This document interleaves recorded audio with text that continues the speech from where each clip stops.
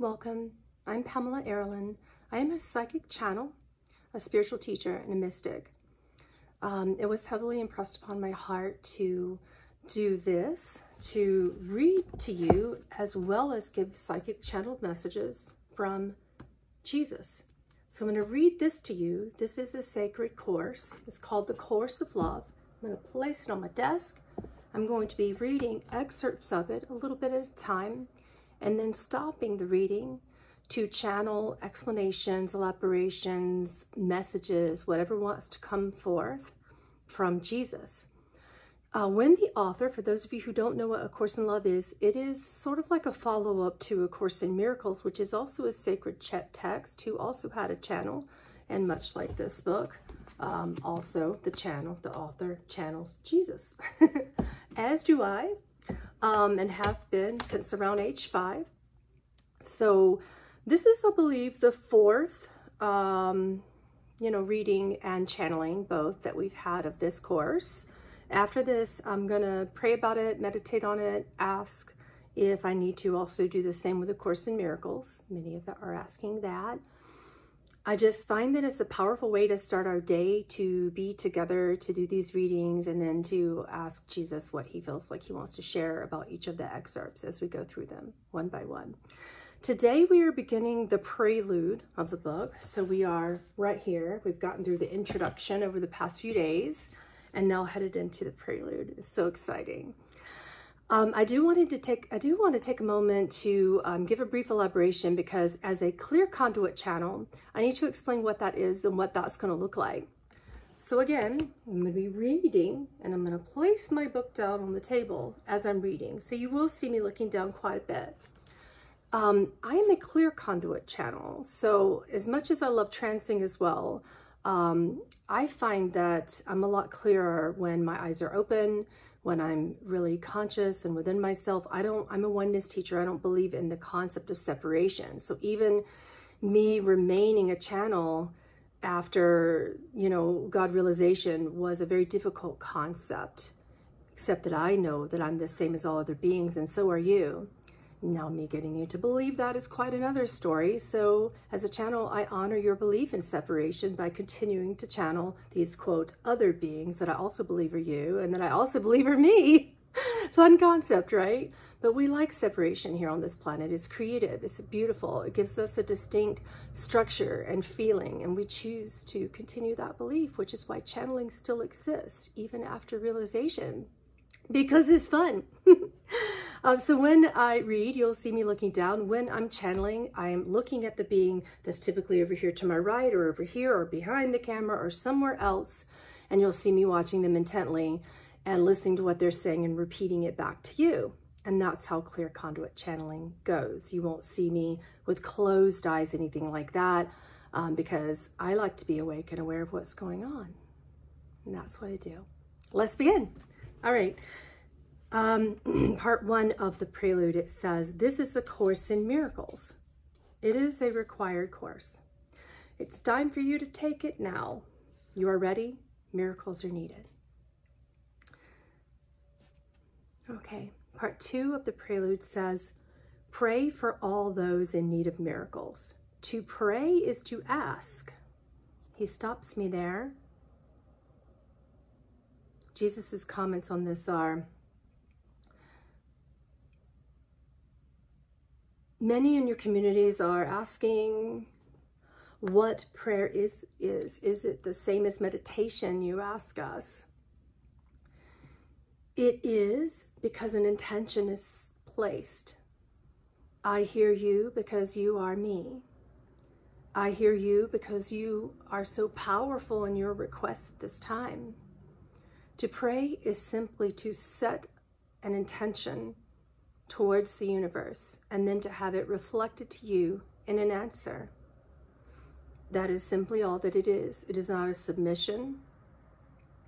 It is not a bowing down or relinquishing of your own power. It is not a part of a religion until you choose to make it such. We continue part two of the prelude. I'm going to read it to you now. It says to pray is to ask, but for what are you asking? This is the first instruction in this course in miracles. All are in need of miracles. This is the first step in miracle readiness, asking for all to be included in what we do here. By praying for all those in need of miracles, you are praying for all to learn as you learn. You are asking to link your mind with all minds. You are asking to end your separated state and learn in a state of unity. This is a basic recognition that this is the only way you learn. Hold on, I'm listening to Jesus's comments on it, and he says,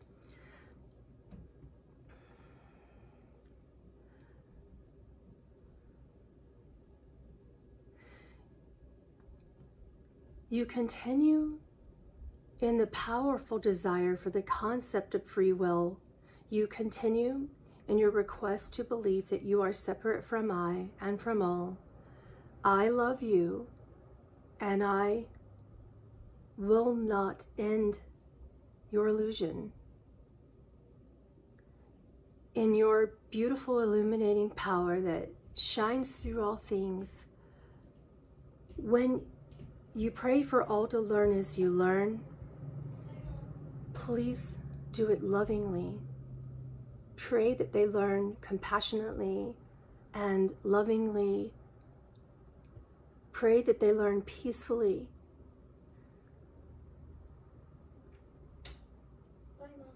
Bye, Emmy. Thank you for shutting the door. She's on her way out to school. Let's see, I think he wants to say something else. I'm listening.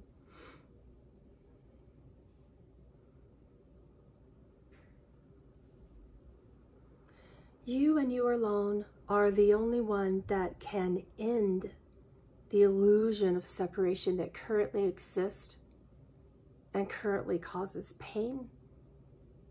When you live it from a state of fear, I ask you today to wonder what it would feel like what it would look like. Who would you be when you don't pray from supplication? Who would you be when you don't pray simply from a fear of pain, a fear of suffering? Who would you be when you don't pray or meditate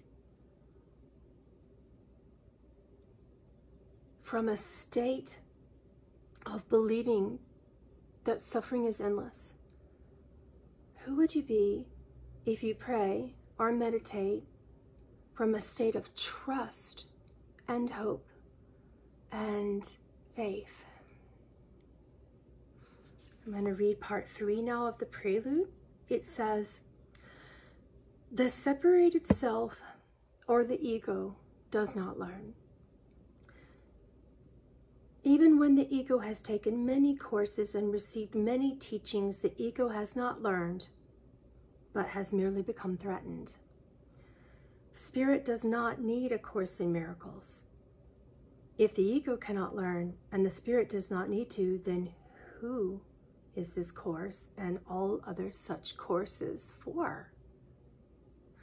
Learning our true identity the identity of the self that is capable of learning is something that everyone must do. Can the ego learn this? Never. Does spirit need to? No. Then who is this course for? Part four says, This is a basic question that was not adequately answered in Course in Miracles. While A Course in Miracles is meaningless to the ego and unnecessary to spirit, it would seem to have no audience at all if these are the only two states that exist. Since it is possible to part spirit and part ego, assuming there would be such a state in which learning could take place would be meaningless. Part 5 says, The world as a state of being, as a whole, has entered a time brought on largely by A Course in Miracles, in which readiness for miracle mindedness is upon it. A Course in Miracles opened a door by threatening the ego. all those who, with egos weakened, walk this world with the hope of leaving ego behind, with miracle minded intent, have awakened human beings to a new identity. They have ushered in a time of ending our identity crisis. Not since Jesus walked the earth has such a time been upon humankind. He stops me here and he says, Isn't it exciting? Isn't it glorious? In your current state of pain, it may not feel glorious. I am not asking you not to acknowledge, not to feel the pain of it. I am asking you to understand that this time is so special, that this time is so powerful, that this time is the first time in your time and space, presence and distortions, that this has happened for heaven on earth to be possible, for the miracle to be embodied, for the time when not even ego can feel a separation or a threat. And you are upon that time now. You are weary. I hear your prayers. I hear your prayers of woe, of suffering, of pain. I hear when you feel tortured by these environments. And I ask you now to complete this course. I ask you now to wonder about what it would feel like to uncover and unravel the world's collective ego consciousness. You have said to us in your prayers, but Jesus, there is such a divide. Everyone believes differently. What is true? What is right? What is love in this time of pain? I send you my arms, which hold you. I send you the balm of compassion, which is forgiveness, not of yourself nor others. When you can't do that, you simply trust and forgive the circumstance of the separation and pain. You see, the separation that you seem to acknowledge, which seems to divide each of you, is a collective ego consciousness of the world. You don't have to take it upon yourself to choose a side. That's the only lesson. The answer isn't this side, that side, this massive conscious ego belief, this massive conscious ego belief. There is a middle way. You can't know it from here, but it does not occur by abolishing your ego or working against it. We're going to read one more on page six, part six of the prelude, it says, What is in you that is capable of learning? What is in you that recognizes that ego is not what you are? What is in you that recognizes your spirit? What is in you that hovers between two worlds, the world of the ego's dominion and that of spirit? What recognizes the different? The difference. The Christ is in you. He says, and the Christed energies are not what religion has taught you, although you can find its spirit there. It is not what a book has taught you, what a parent has taught you. The Christed energies cannot be taught to the mind, they can only be remembered by the spirit. We love you.